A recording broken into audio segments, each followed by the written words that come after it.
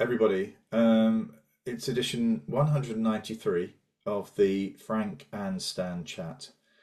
And it's quite a momentous morning um, because Stan and I were thinking about how many changes of government have we had since we, well, certainly since I started teaching in 1979. Did you start in the same year, Stan, or were you a year later?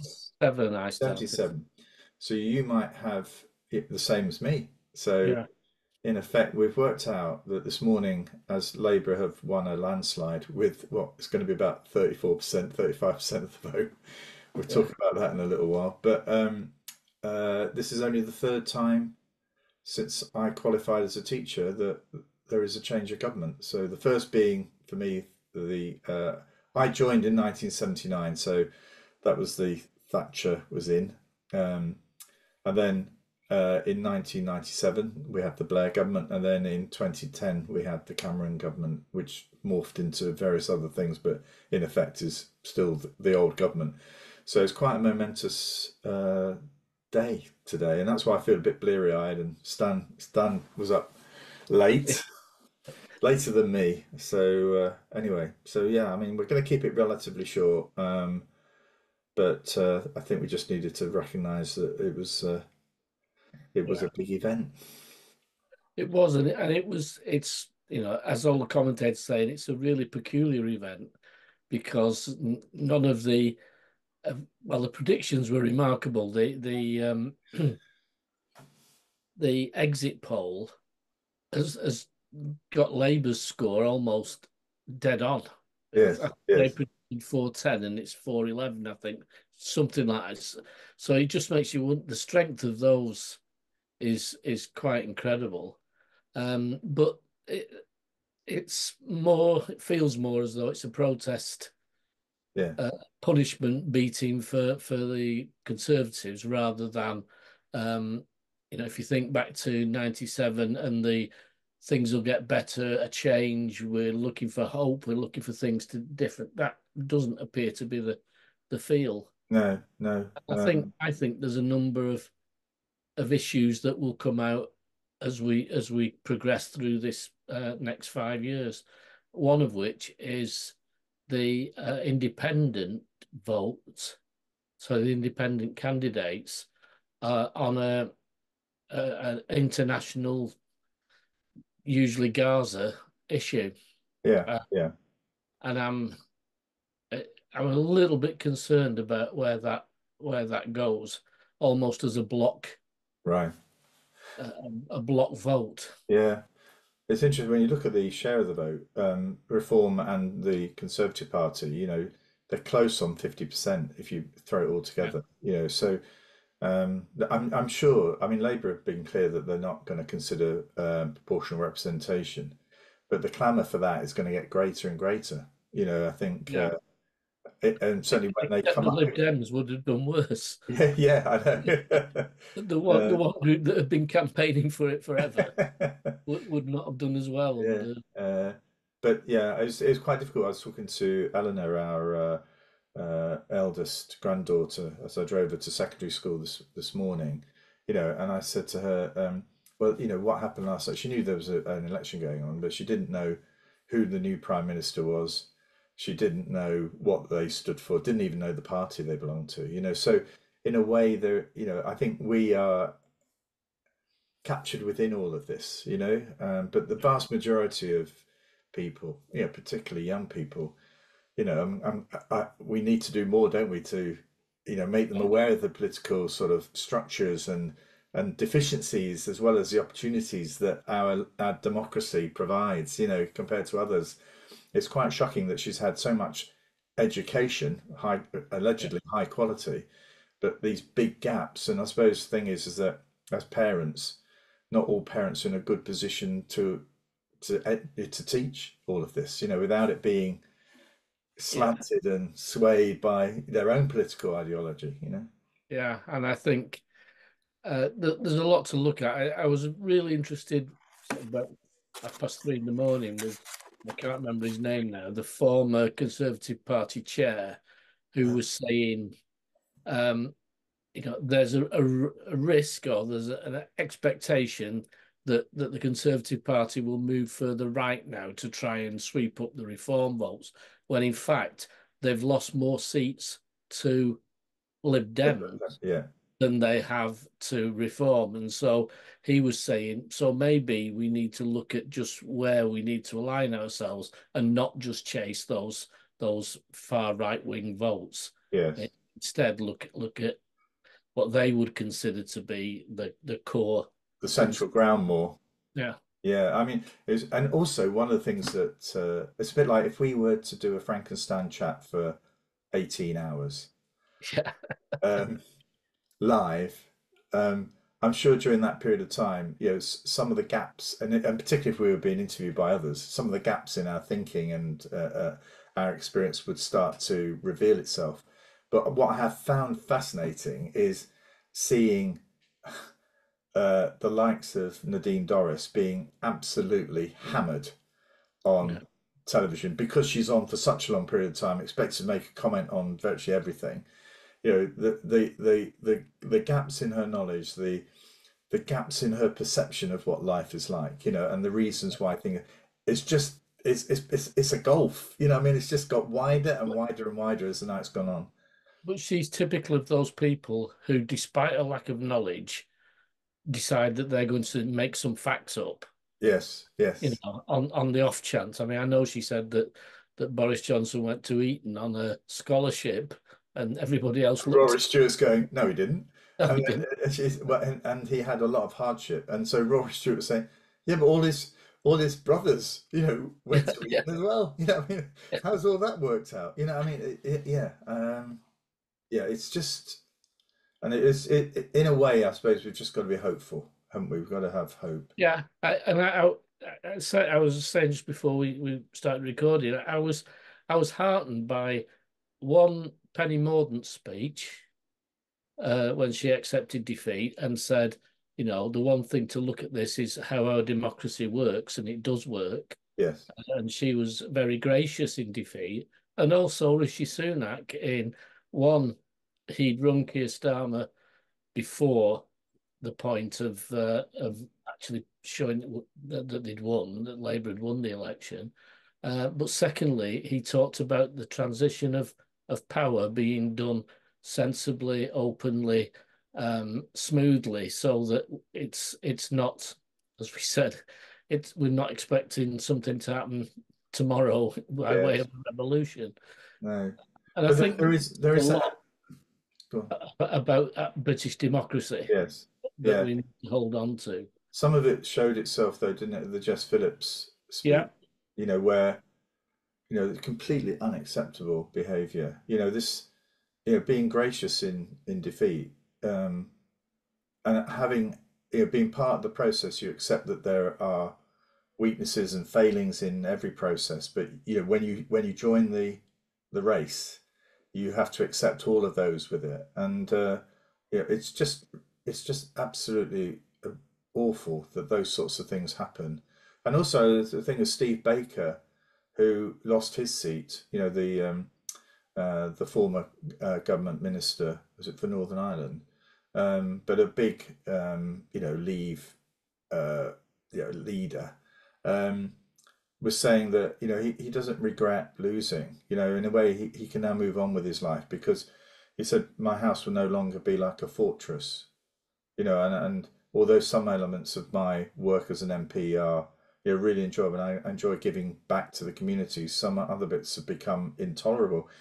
But i have to say you know the in a way you you you, you reap what you sow yeah. you know?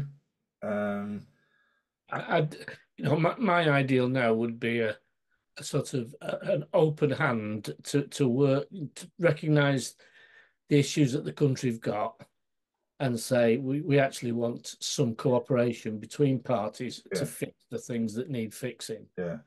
Uh, I, I just wonder if if all the parties will be up to, you know, we're not going to have a general election for a while, so no. you know, in a sense, you can sit back and say, right, let's let's try and get things well, fixed when you've only got a hundred and odd seats as a Conservative party, yeah. even if you throw reform into it, you know, they're not going to get any change unless they start to, you know, engage in a more open way. you know, with a, a more conciliatory approach, even if it's painful for them to do so. They're not going to make any progress, you know. No. So, um, and no one's going to be listening to them, you know, um, for another I do probably think it another needs three years. it needs Labour to be humble in victory as well, Yeah, yeah, and yeah, and to, to say right, you know, it's roll our sleeves up now and all get on with with shifting the things yeah. Need shifting. It was in Bridget Phillipson's interview um, last night, you know, which it talks about um, being more open and supportive of the amazing staff that we have in our school, you know, and appreciating all that they have been through and all that they're doing. You know, I think that that that would be really helpful in just rebalancing the views that some parents have that schools are failing their children. You know, as mm-hmm. if to say it's a it's a that that education is a um, a delegated responsibility that I as a parent hand on to a school. You know that it's not a, a collaborative venture anymore. Mm. So I think that's where some of this begins yeah, and ends. And I think that's not saying you know there is complete underfunding of education, as com- particularly around special educational needs. You know that we've been swamped with ideological approaches. You know the the the power of individual schools to do things. You know has I think they've had seriously in this last since 2010 have had their wings clipped so many times that I think teachers are now wondering you know, where am I going to bounce next? You know, so I think all of that I think would be really helpful to get to a position where there's a bit more respect and tolerance and appreciation for what goes on in our schools, which is what we see on a yeah. regular basis. Um, But if you've got and and it was the Reform Party this time, who one of their policies was to uh, stop schools teaching children to hate Britain. yeah, I mean, what, uh, where is that? I, well, I have no idea where that's come yeah, from. And yet I can see people nodding at it and saying, yeah, yeah, we must, we must stop that. yeah, yeah, Stop them teaching about trans ideology, as they put it. mm, You know, I, I I did see a little sort of to and fro on Twitter where somebody said, somebody was saying that was absolutely right and we shouldn't have any of this. And somebody said, you're going to have to hope that your children don't end up as trans children. yeah, A completely different point of view. yeah, yeah. Um, and uh, what gets to me is I go in schools, I don't see any of this, No, you know, ideolo ideological approaches on things that are sensitive. I, I just don't see it. But the thing is, Stan, is that if if if this was going on regularly in schools, um, Ofsted inspectors, I know we're highly critical of Ofsted, um, Ofsted inspectors would be reporting, or at least would be reporting that back, and that and, and I, I'm not hearing that. You know, I in a way uh, in the last well three weeks, I think I've either been directly involved in or have been part of, you know, uh, a number of Ofsted inspections. I can tell you, this is far from the issues that Yeah. they're dealing with. You know, what I mean, this is just off the scale in terms of ridiculousness, in terms of what actually is happening in schools. Um, so uh, But it's it's one of those things, Frank, that that's believable to a certain section of society, isn't it? That something must be going right. You know, yeah, you see yeah, one headline and it's all schools. yeah, And I, I think back to to head teachers who've made um, not necessarily brave decisions, but made decisions to to teach to the national curriculum and had protests and and threats and yes, and that's got to that's got to be gone. yeah, you yeah, know, that if it's a national curriculum, that's what it is. I, I do I do think there was a danger once we said um, that academies don't have to teach to the national curriculum, have sort of an awareness of it, because that then opens the door to people protesting about what this particular school's doing and what mm, that school's doing. So I do think there needs to be a national framework around it, but we I, need to protect head teachers from that kind of uh, Yeah, yeah, and the, and the, the, the Labour government have indicated, or their manifesto indicated, a review.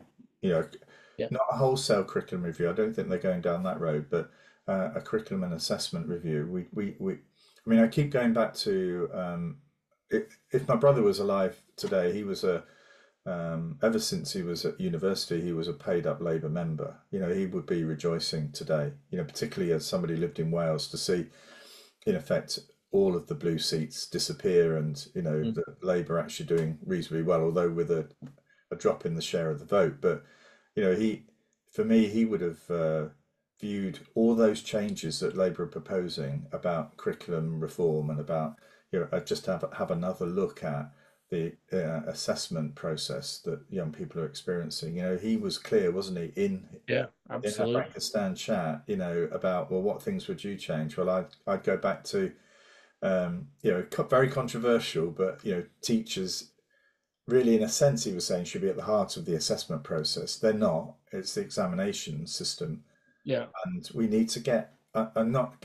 I'm not one for giving up exams, but I do think that we can't have a situation where students are studying uh, uh, at an A level subject. 20% of their course is on a particular project, and that's not included as part of their final exam. yeah. That is the final mark. That is absolutely I I think we've said before it should it should be a balance between uh, an examination and um, a professional judgment, Yeah, albeit a moderated judgment. And if those two are significantly out, then my view is the view of the teacher should take priority. right. Yeah, see, others would say it should be the exam. You know what I mean? Yeah, but the exam only tests what you can yeah, reproduce I know, I know. 30 minutes or Yeah. an hour or three hours. I think they were three hours when we did them. They were, they were, and I remember, um, we're harping back. We were saying this was going to be a short one, but I can feel it's going to be a longer one. But I remember my history um, O level. Um, I had something like about 50 questions that I could choose from, and I had to do, I think it was three or five of Yeah, it's, those. yeah, it's You know, three.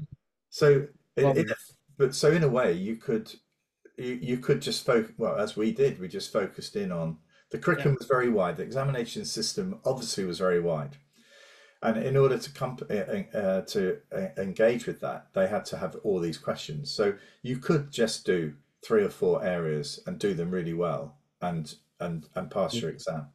Um, nowadays, uh, the criticism of history, particularly, is that it's very wide, and they and they assess everything, you know, within it. And and so, in a way, I think the curriculum review um, is necessary um, I, I would like to look at, at the baccalaureate again and, and to introduce some some arts subjects in, Yes, in yes, baccalaureate. And then it makes, for me, it makes a balanced curriculum, um, a, a better overall view, a better Mm, overall child development, if you like, yeah.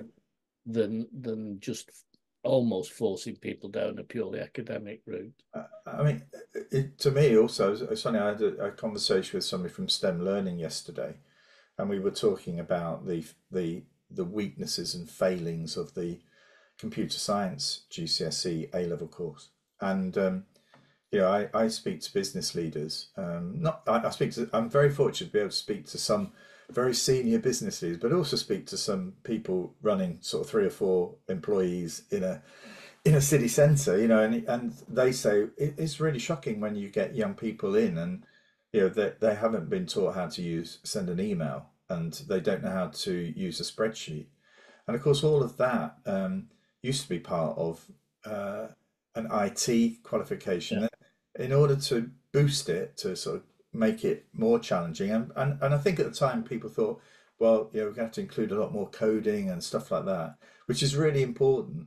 But they've sort of they've swung over to that element so that we end up with young people who have got sort of a creative slant uh, or just think I, I'm I can't cope with the maths that you need to do for coding, you know, so I'm not going to study it. And we we we need all of these people with Yeah. those basic set of skills. We need the creative people into digital uh, industries, and we need you know the technical people as well. It's a, it's a broad Yeah. that, and Yeah. we haven't got that at the moment. I was reading an article yesterday um, about uh, IT development, and some the person writing the article was saying the problem we've got now is the younger generation don't know how the systems work. Yes, That they actually don't don't know how they you know, and it's taking older, more experienced en engineers engineers, yeah, to be able to show how how the if you like, for of a better phrase, how the program works, not how you can just fiddle it to Yes. to make it a different Yes, thing. yes, yes. I suppose it's the same. You go back, it's the same argument about calculators and computers and everything, isn't it? That that if you can't add up in the first place, my view was always if you can't add up, and many many hours have been put into trying to help you, then some hours should be put I- into using a calculator. Yeah. I mean, it's uh, you know, you, you only have to put your phone to a problem. You know, you Yeah. could put a very complicated algebraic uh, equation up and just put your phone to it, and it it Well, will- that's that's what work it part out. of the article was about because it was showing something Apple have just come up with, where you can write any formula, just just write it with an Apple pen on the screen, and and it solves it. I know. And you think, well, um, I'm not, I'm, I mean, having an understanding about how all of this works, I think is really important, you know. But then, you, you know, I think that there are points where um, young people get to a certain time in their life where they just feel as though I've, I've lost it with this subject. I mean, I, I felt that, you know, I mean, I felt that about science, to be honest, when I was at school. I just, I think you're right, Frank, and I, but I think the the if you like the the thinking, what's happening is that's really important, so everybody must do that. no, yeah, instead of saying so we must ensure that a proportion of our graduates have done this yes, you know you do that by controlling the places or controlling the the, the what uh, universities offer or what colleges offer or what schools offer. You've got a way of controlling that. But to say right well you know maths is really important therefore everybody has to do maths and if you can't get maths you can't have access to some of the Well, arts yeah. i mean Yeah, and also if you can't do maths, I mean, I have said before, uh, I mean, I didn't get my maths uh, O level, um, and in a way that that that wasn't. I don't. I think I was capable of getting it. I just our school didn't do it. You know what I mean? It, the kid who was doing maths O level went to the grammar school opposite. There was a decision made that we're all doing what was then CSE, and I, I, I got a grade two CSE maths.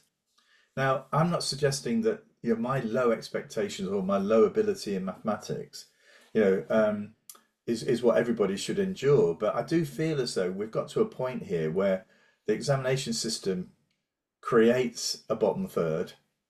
It then asks that bottom third to go and resit subjects that have already failed, some of which they probably can't be asked with anyway. And then we carry on. And, and actually, if you can't get it, then actually all of the other opportunities, uh, uh, many of the other opportunities, regardless of what your talent is, are all closed off to you. You know, it, it, there, it's the mindset isn't it frank? Because you think about it we're doing it with reception.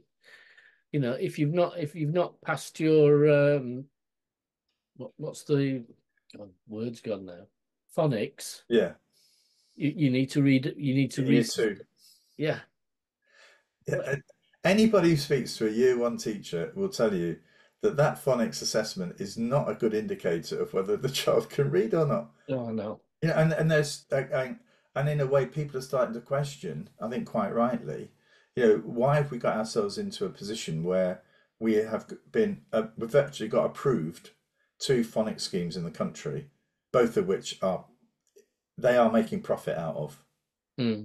You know, I don't know about you, Stan, but if we if we came up with a, a um, let's say we came up with a, a fascinating program for uh, leadership development, you know, I tell you now, we wouldn't be out there saying, "Do you know what? We can make some money out of this." Uh, I Mhm. think I think our probably our, our, approach would be, let's put it out there. You know, Yeah, if, this works for you, you you use it, and and if it works, and if somebody wants to give you Stan, Sir Stan Johnston Johnson, then you'd probably accept it. I think you probably would. But the thing is, is that that's the right way to do it. You know, but we've got a system at the moment where it's all about who's on the who's on the gain. You know, who, uh, Yeah. I mean, I, I want to say something about something I saw in in Ofsted many years ago, where if you're having to think about it frank it's probably better not to No, I say know.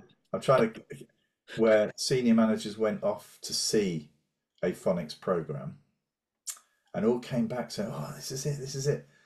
Most of whom have never taught no early early reading. In fact, I think yeah, none of them had taught early reading, but they all came back. They've all been convinced by somebody that this is great. Yeah, this is the solution. This is going to sort it. You know. And you I, think I can give you an equivalent. I'm not- thinking to myself, well, it's funny, they never invited me to that, did they?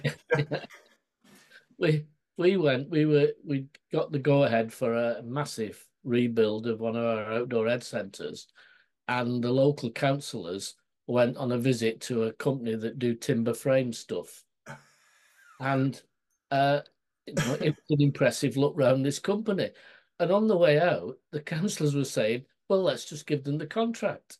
it was it was like a multi-million pound contract. Well, we've seen it. Why can't we just? So yeah. So let's just say, you know, the the roots of corruption, you know, uh, don't just sit with this current or the uh, former government, do they? They, No, in a no, way. no. I mean, I remember. Oh, this is. I remember when I became a head teacher in um, my second headship.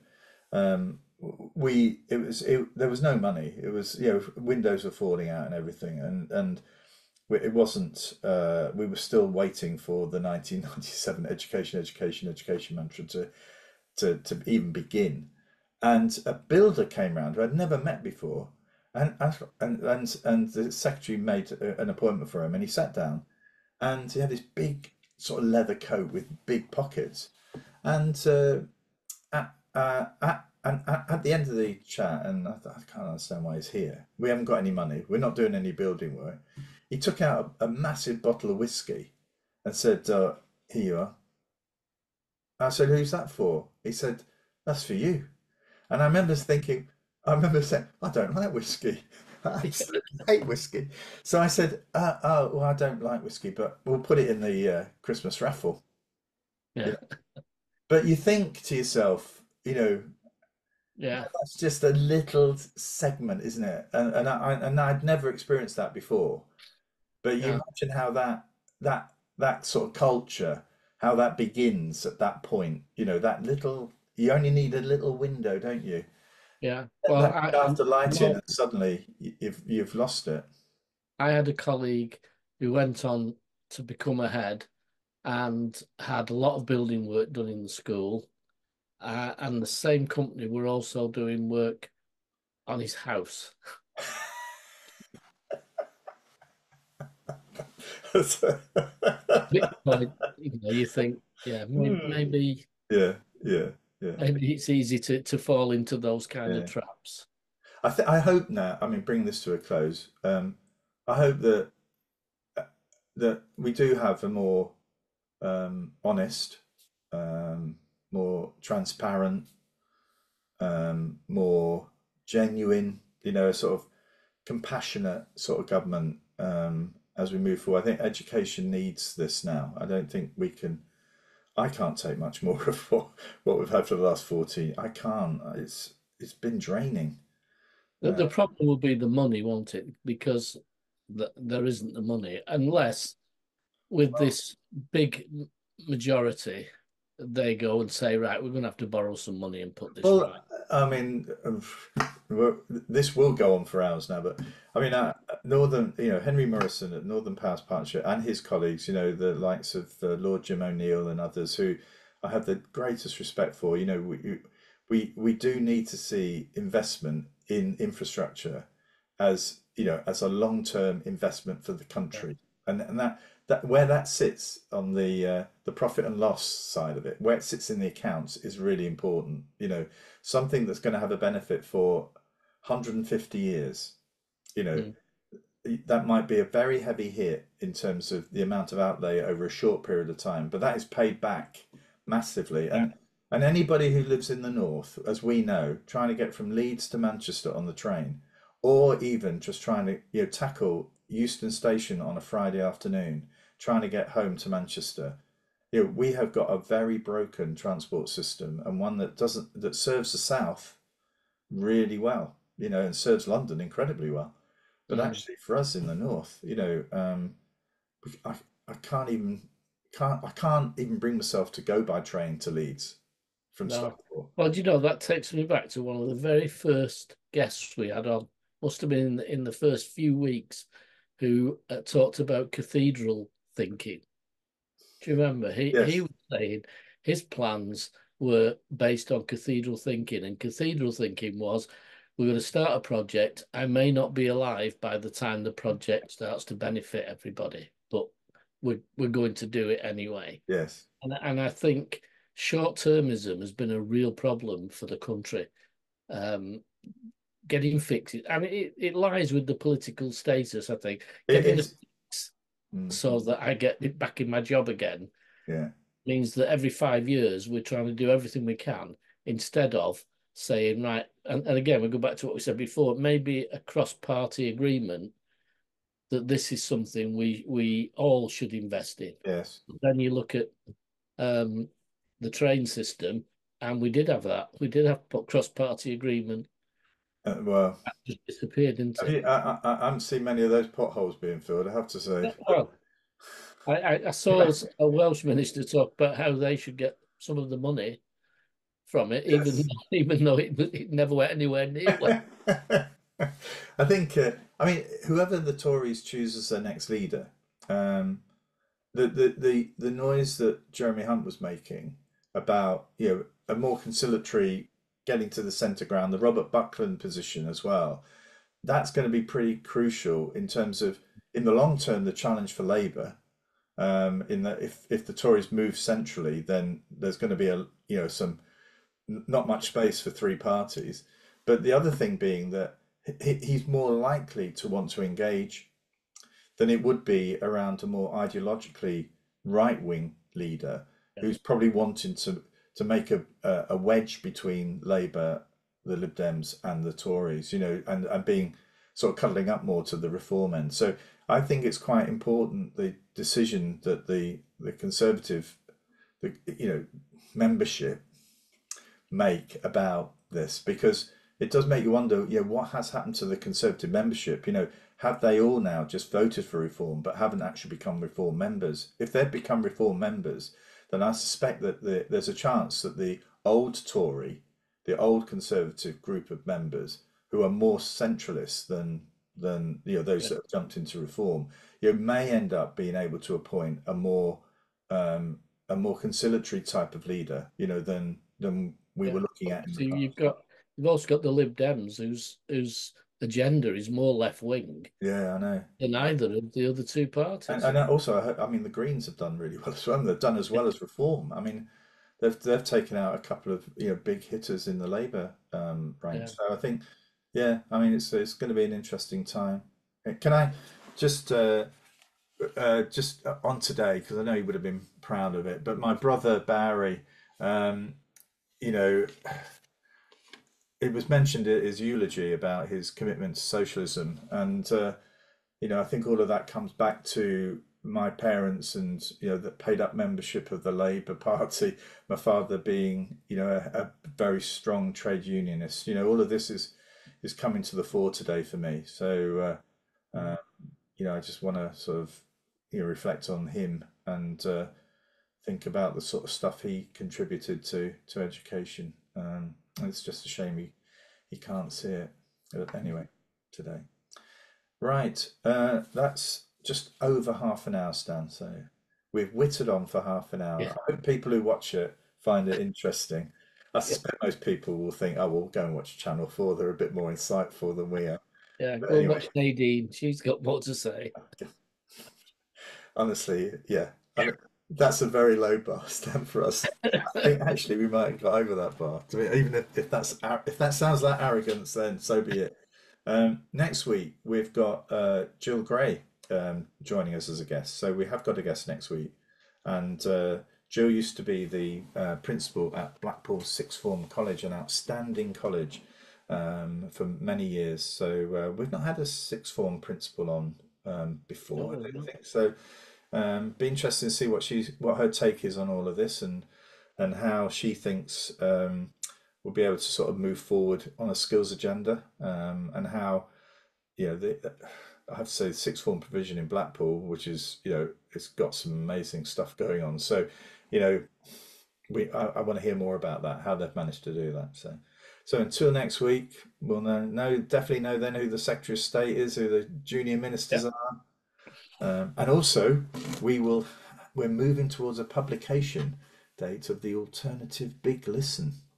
Right. So uh, we might even. Well, I'm not. Don't want to give too much away, but anyway, we are moving towards a publication date. So can't wait to share that with everyone. Okay, so until next week, take care. Thank you, Stan. Yes. Thanks, Frank. See you soon. see you soon. Bye. Bye.